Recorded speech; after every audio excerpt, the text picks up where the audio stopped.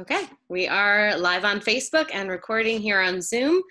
Thank you for joining us, everybody. This is Krista Gervon from Princeton Integrative Health, and I'm here with Dr. Vinny from Princeton Integrative Health as well.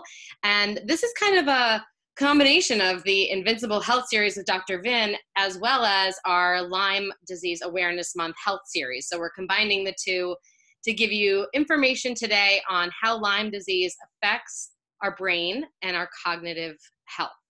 So, Dr. Vinny, would you like to give us a brief overview about how Lyme affects our brain and cognitive health, please? Sure. Um, so, Lyme disease, um, most people I think may know, um, it's caused by a spirochete um, called Borrelia um, that gets into our uh, system uh, most people know that it causes, uh, you know, if you catch it early, it might cause an erythema migrans rash, but many people don't have that. You know, numbers are between uh, 50 and 70% of people don't have the rash. Um, and, uh, but causes joint pains, causes uh, fever, chilled sweats, that kind of thing in the beginning. But not everybody has that. Um, but certainly, if you have that, you would suspect Lyme. Usually, in the early uh, stages, you know, the Lyme test will be negative.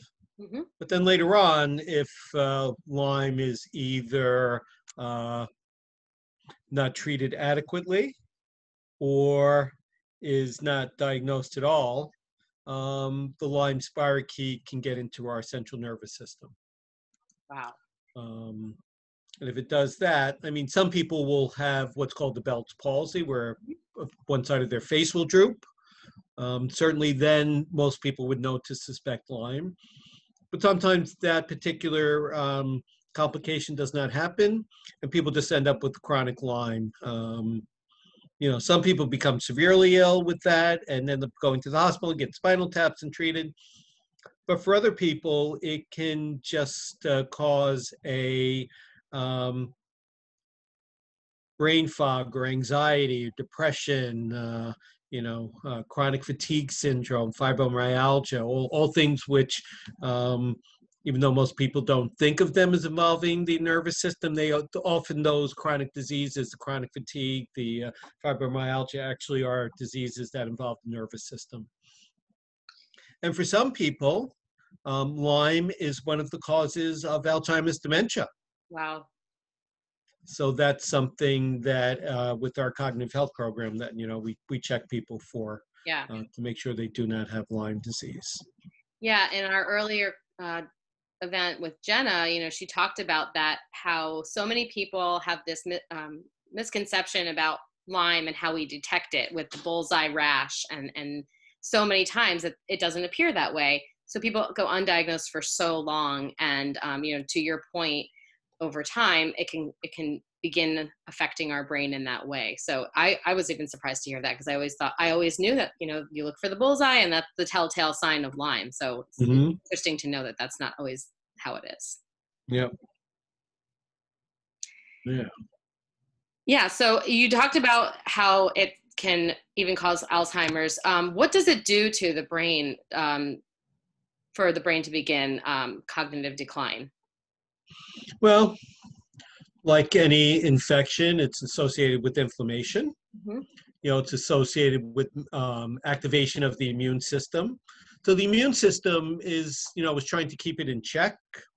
Um, and, uh, you know, if it finds infected cells, sometimes it'll kill those cells. Uh, but the spirochetes are, are pretty effective at evading the immune system, but usually knows something is going on. So there'll be a kind of a low level inflammation going on all the time. And for some people, that's enough to tip them over. They might have other risk factors, you know, uh, you know, things like uh, maybe their blood supply to their brain is not that great, or maybe they have diabetes and have metabolic issues related to that. Yeah. So it might not be just one thing, yeah. but um, you know, Lyme is certainly one of the ones that can do that. Um, you know, we're finding also, you know, just on that same topic of infections that call, can contribute to dementia, people with um, oral health problems. Certain uh, bacteria from the mouth have been found in the brain of Alzheimer's patients right. on autopsy, of course. Yeah. Um, and uh, so these chronic infection, we, you know, I was never taught that in medical school. You know, of course, that was a few years ago for me. Um, and uh, that, you know, you could get these kind of chronic infections that cause it. But if we look more towards uh, like syphilis, mm-hmm. um, which is also caused by um, a spirochete. Okay. That can get into the brain and the central nervous system. There might not be any signs anyplace else, but over the course of decades, um, leads to uh, leads to a dementia also. So I think it's the same kind of model. Yeah. So if there's anyone watching um, and they are having and these experiencing chronic illness, uh, like you talked about, it would be something that they could come into our office and then we would be then begin to peel back the layers of the onion really because you said there could be other things going on. So we really try to get to those root causes with the testing and then possibly a diagnosis if, if it's been untreated or been undiagnosed for for so long. Sure. And since you mentioned it let me just mention a little bit about testing. Yeah. Testing for lyme disease is not great. Mm-hmm. you know um, you know we Lyme disease is more of a clinical diagnosis with supportive testing, especially in the early stages, because when somebody has an erythema migrans rash, it's too early for the body to have mounted an adequate antibody response, so testing will be negative. Okay. Um, but even later on, um, if somebody's been sick with Lyme for a long time, their immune system may be kind of beaten down enough that it doesn't um, the antibody testing is still negative. And so it's not uncommon that people who might have what appear to be all the clinical symptoms of Lyme might have a negative test, but once you start to treat them, right. and the immune system starts to recover, then all of a sudden they're positive. Oh wow, so interesting. So, so yeah, so um, you have to be careful. You know, I have a lot of people come in and say, "Oh yeah, I had that. I had a negative Lyme test." And I'm like, "Yeah, but we'll see."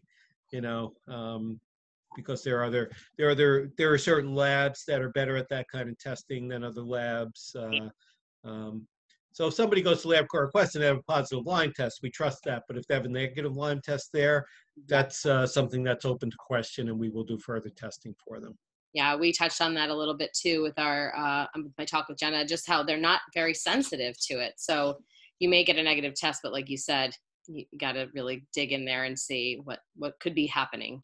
Yep. Um, I'm going to go check on Facebook to see if we have any questions, but feel free to give any other information about Lyme, um, brain health, anything like that, and I will go see if we have any questions. Okay.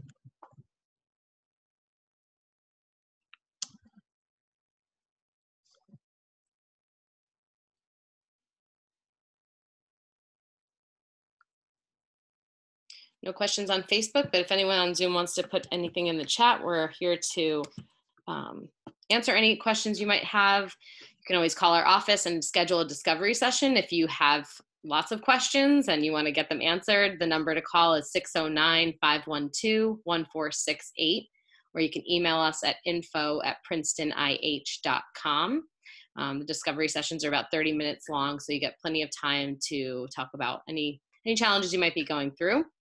Um, and the Lyme, the Lyme Disease Awareness Month Health Series, it's a mouthful, um, continues next week. Um, I'll be speaking with um, our acupuncturist Joe Bonacci about how functional medicine um, is a how how a functional medicine approach to treating Lyme um, can really help with the symptoms that you might be experiencing. So We'll be uh, talking on Wednesday, May 26th at 12 p.m. noon, and um, you can join us here on Zoom or on Facebook Live. But yeah, if there's any other um, information you wanted to share with anyone, please go ahead. Yeah, I mean, you know, Lyme affects all age groups. Mm-hmm. You know, our kids can have it, and studies show that you know 40% of them don't have an, a recognized erythema migrans rash so you have to be careful of that. Make sure you're you know checking children for ticks. Make sure you're checking your pets for ticks um, because they can get lyme or they can bring lyme into you.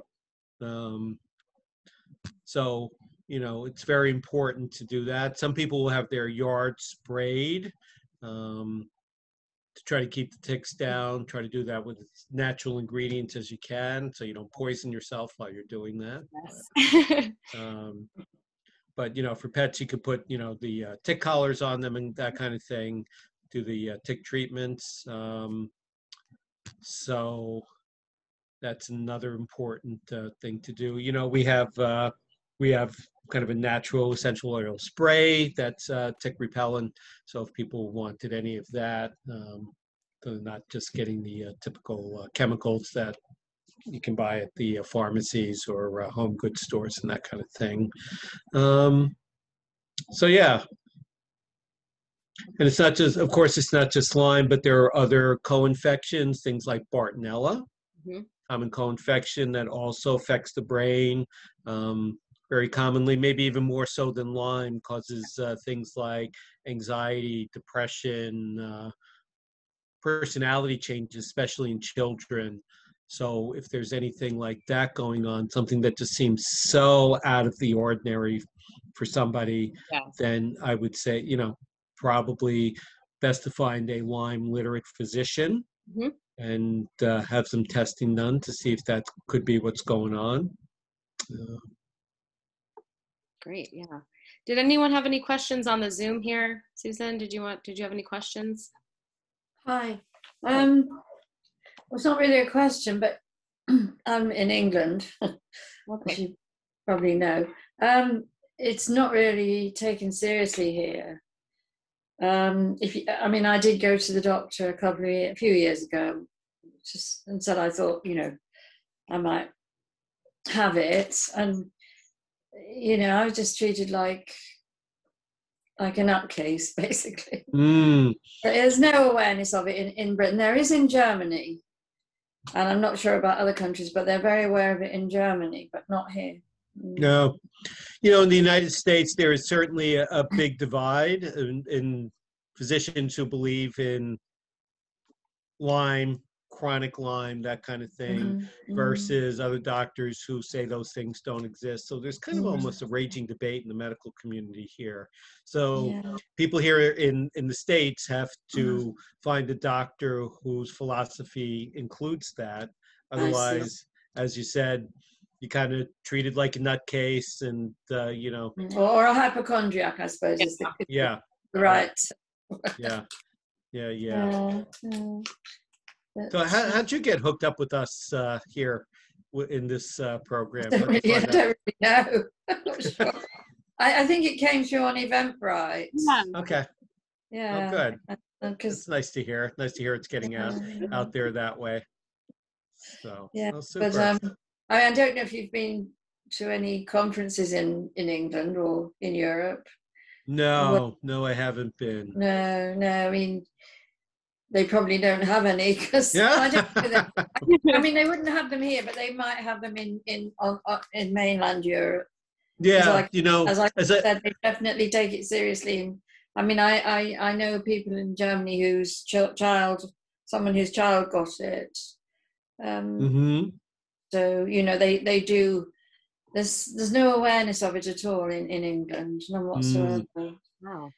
Or the whole yeah. United Kingdom, you know. So it's strange, isn't it? Does it cover? Is it um, prevalent throughout the whole of the USA, or is it more prevalent in certain states? Well, I think it's spread all over the U.S. now, but it's certainly more prevalent in some, you know, some states. Uh, you know, mm. that whole, you know, the uh, Connecticut and you know the Northeast of the U.S. certainly has a lot, but it's it's really been spreading everywhere now. Yeah. So, um, but yeah, I was going to say I went to an integrative uh, medical conference, and there was a company from Germany that specialized in Lyme testing. So I'm not surprised mm, that you know yeah. that they yeah. you know I, that would indicate to me that somebody there in Germany was taking it pretty seriously. Absolutely. So, yeah.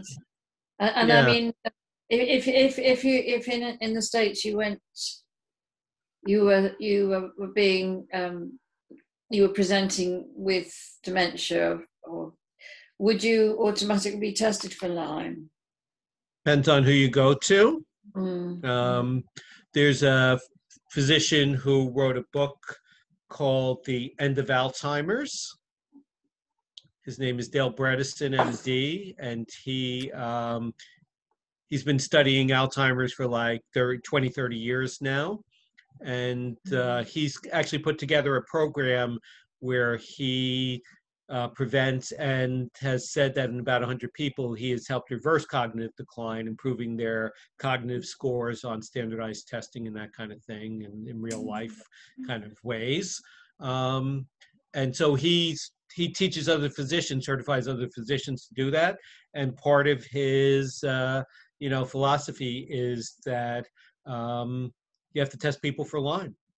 Mhm. Yeah, yeah. If you don't have other explanations and they're not getting better with the you know you know i think i mentioned some of the things. If they have diabetes and you treat their diabetes and that's getting better but they're not getting better then you st- better start looking at things like lyme disease and maybe heavy metal toxins and that kind of thing. So um, but there aren't many physicians that are doing that in the us you know we're a very small So you're um you're I mean you're integrative Right. health. Mhm. Um and so you're not mainstream, I guess. You could mean- right. I am. you know, Mm. I I was for 32 years. I was doing com- conventional mainstream medicine. Both i've worked in an ER and then family medicine, which is where my Mm. training is.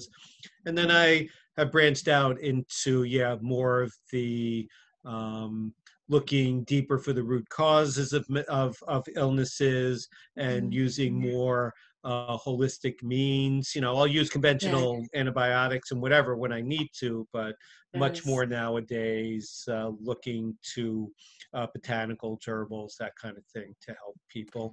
And those things are also effective for Lyme.